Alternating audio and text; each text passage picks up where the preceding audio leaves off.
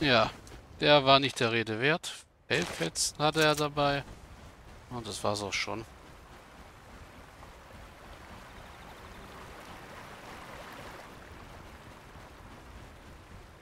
Eine Smaragdspinne hier drüben.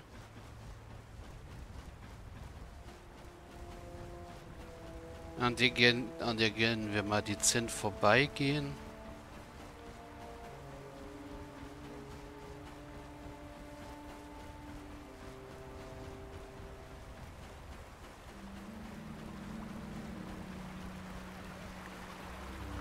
Also das war nichts Besonderes hier.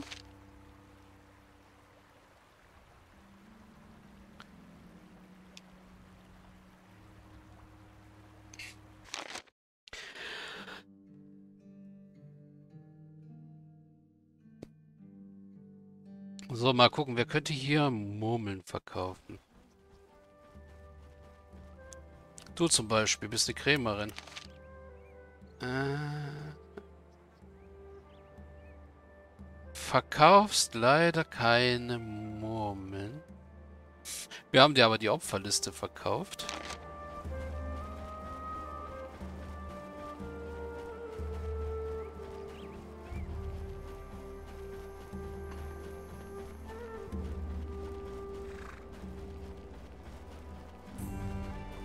Naja, Murmeln können ja auch als Falle benutzt werden.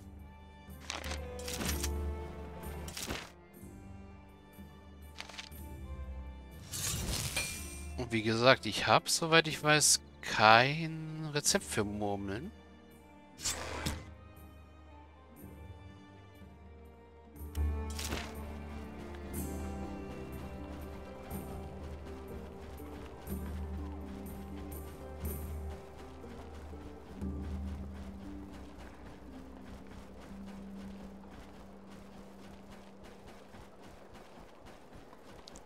Deswegen habe ich nicht die große Wahl, als mich hier mal umzusehen bei den allen Händlern. Selbst beim Rüstungshändler. Waffenbalsam und Schleifsteine. Ich sehe allerdings keine Murmeln.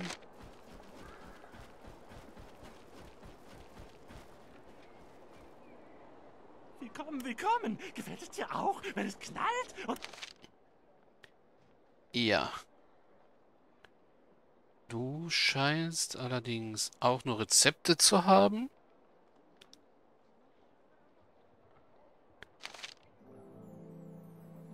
Großer Heiltrank. Zwiedestillat, Drachenblut, Würselkraut, Einbeere, Oglinwurz.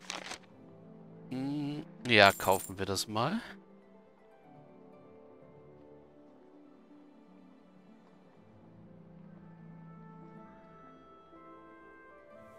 Heiltränke, große Heiltränke sind teuer. Zwiedestillat geht so einigermaßen. Ach ja, und beim Krämer oder so dann das Zeug verkaufen, was wir noch so mit uns rumschleppen. Äh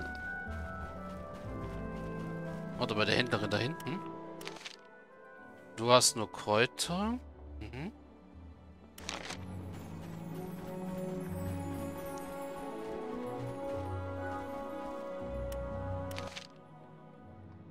Okay, du bist Hut, äh, Stoff- und Lederhändlerin.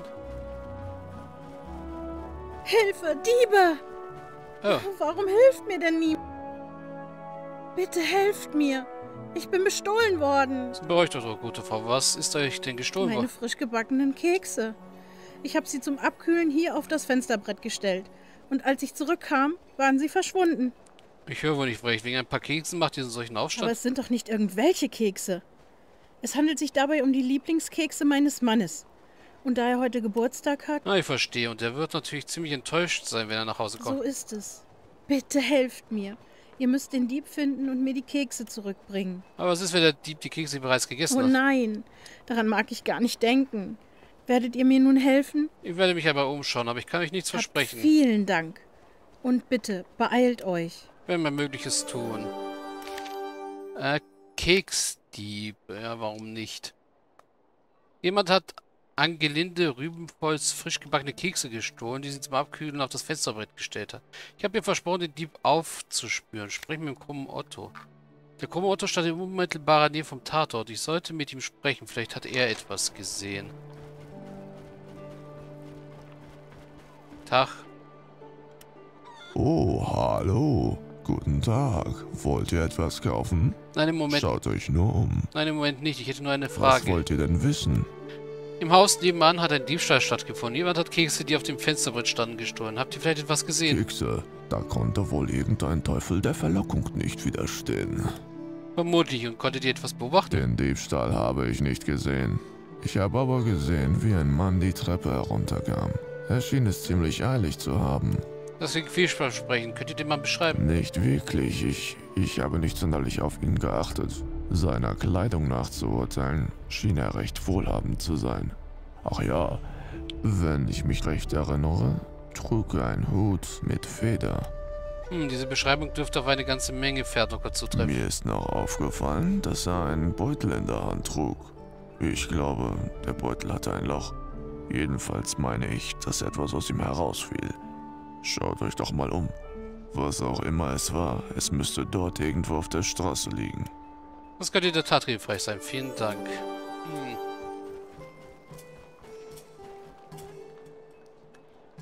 Ja, da liegt ein Keks.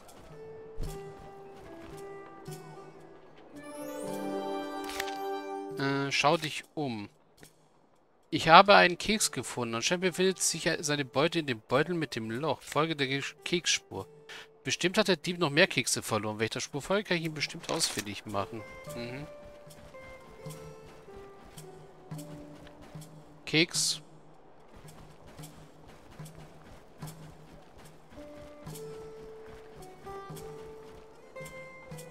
Keks.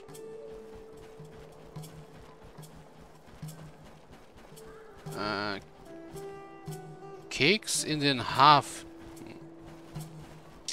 Okay, das machen wir wann anderes Mal.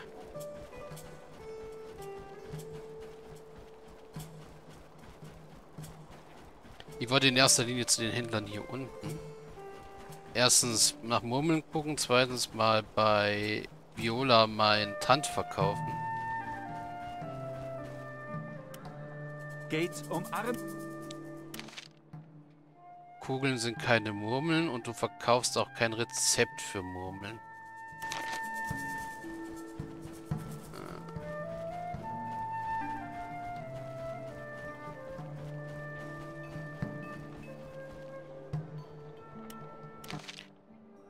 Du hast auch keine Murmeln, aber wir können dir wahrscheinlich unseren Zeug verkaufen.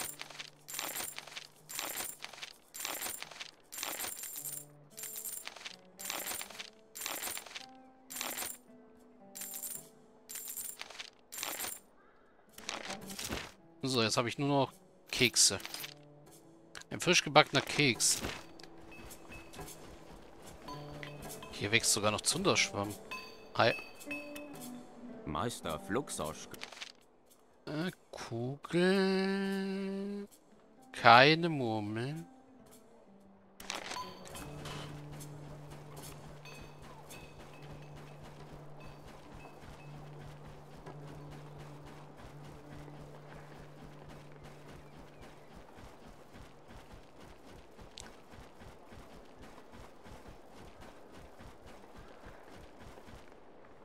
Du verkaufst nur Willkommen. Kräuter und du?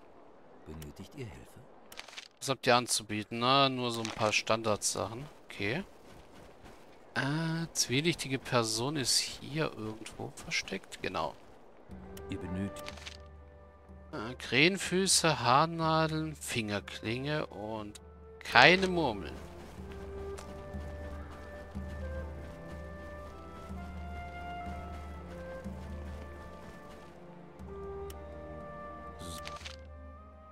Du hast wahrscheinlich dann auch keine Murmeln? Nein.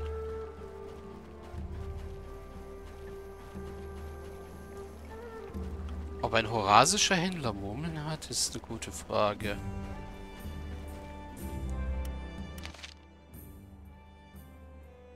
Nein. Wer bleibt dann noch? Danko brauchen wir gar nicht versuchen. Oder ob Handwerkerin was hat? Äh, nein. Hier könnten wir nur eine Mistgabel haben. Also danke für das Gespräch. Dann gehen wir jetzt in die Kraftresidenz mit der Vogtin reden.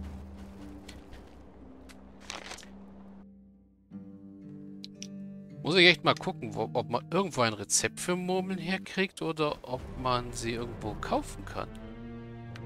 Schön, euch wieder zurück in Ferdok zu sehen. Hab Dank für die Ergreifung Vito Nicebecks. Ich sehe, dass Grundwein und Hügelbeut euch bereits informiert Das haben. haben sie. Vito Nicebeck befindet sich wieder im Kerker und wird streng bewacht. Bevor ich es vergesse, hier ist eure Belohnung. Danke. Habt ihr Vito Neisbeck schon über das Rauschkraut befragt? Ja, allerdings behauptet er hartnäckig nichts genaueres darüber zu wissen. Angeblich wird Ferdok nur als Umschlagplatz verwendet. Die Ware wird per Schiff geliefert und dann im Schutz der Dunkelheit weiter transportiert. Weitere Einzelheiten, wie und wo das alles im Hafen passiert oder gar der Zielort der Ware, sind uns nicht bekannt. Aber vielleicht hat Hauptfrau Dorkenschmied inzwischen Neues herausgefunden. Am besten wäre es wohl, wenn ihr sie aufsuchen würdet und euch nach dem neuesten Stand der Ermittlungen erkundigen würdet. Das werde ich machen. Bitte haltet mich in dieser Sache auf dem Laufenden. Der Gedanke, dass Ferdok Schauplatz eines Rauschkrautschmuggels ist, ist mir unerträglich. Aber natürlich. Ja, sie als Vogtin ist hier halt für die Sicherheit und alles verantwortlich. Äh, Jagd auf Vito Neisbeck. Es ist mir gelungen, Vito Neisbeck wieder zu ergreifen. Er hatte sich in der Ruine in den Blutbergen versteckt. Ja, ich habe die Vogtin über die Ergreifung von Vito, Vito Neisbeck informiert. Und bei Rauschkraut hat sich auch was getan. Sprich mit der Hauptfrau. Vogtin Dariana hat die Untersuchung des Rauschkrautschmuggels in Ferdok an Hauptfrau Bala Torkenschmied übergeben. Ich sollte mit ihr sprechen, um zu erfahren, ob sie etwas Neues herausgefunden hat. Mhm. Das heißt, wir gehen jetzt hinten ins Archiv. Werden da wahrscheinlich dann erstmal speichern. Weil es bald mal wieder Zeit ist für einen Cut. Dann werden wir mit Bala reden das nächste Mal und dann im Hafen nach dem Keksdieb suchen und Murmeln suchen. Äh, weiß schon langsam nicht mehr, wo wir Murmeln kriegen könnten.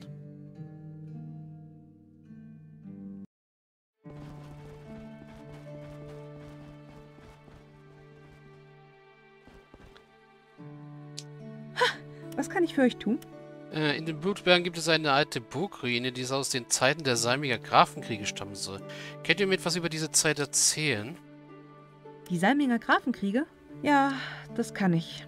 Ein recht unrühmliches und überaus blutiges Kapitel in der Geschichte Ferdoks und des Kosch, muss ich leider sagen. Das Ganze begann im Jahr 162 BF und dauerte über 100 Jahre bis 270 BF. In jenem Jahr gab es eine gewaltige Flut und der große Fluss änderte in weiten Teilen seinen Lauf. Das führte dazu, dass Alt-Ferdok seine Lager am Fluss verlor, der nun einige Meilen nördlich floss. Aufgrund dessen verlor der damalige Graf, trat der Alte aus dem Hause Trunak, jegliche Hoffnung und Zuversicht und verstarb.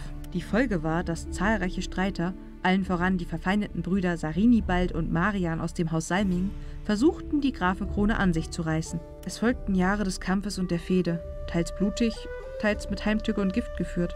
Immer neue Adelsgeschlechter setzten ihre Anwärter auf den Grafenthron, die genauso schnell wieder verschwanden. Bündnisse wurden geschlossen und wieder gebrochen. Und die Stadt Ferdok verschwand immer weiter in der Bedeutungslosigkeit. Erst im Jahr 270, dem sogenannten Dreigrafenjahr, gelang es Nefert Trunak, einem Nachfahren des alten Tra, den Thron zu besteigen. Er ließ die Stadt wieder an den Fluss verlegen und langsam gewann Ferdok wieder zu seiner alten Bedeutung zurück und Stabilität kehrte in die Grafschaft ein. Hab Dank für diese Lektion in koscher Geschichte. Das klärt einiges. Freut mich, dass ich helfen konnte. Kann ich sonst noch etwas für euch tun? Ja, eine Frage noch. Ist Erzmeister Rakuren schon eingetroffen? Er erzählte mir, dass er dem Stadtarchiv einen Besuch abstatten wollte. Nein, bisher nicht. Und dann komme ich später nochmal vorbei. Lebt wohl. Ja. Ich habe mit Luciane über die Salminger Grafenkriege gesprochen. Also, Rakorium ist noch nicht da. Das heißt, wir gehen jetzt raus hier und speichern. Das heißt, wir kümmern uns um ein paar andere Sachen erstmal. Hm. Gut, speichern. Das wäre jetzt 005. Speichern. Und dann sehen wir uns gleich wieder.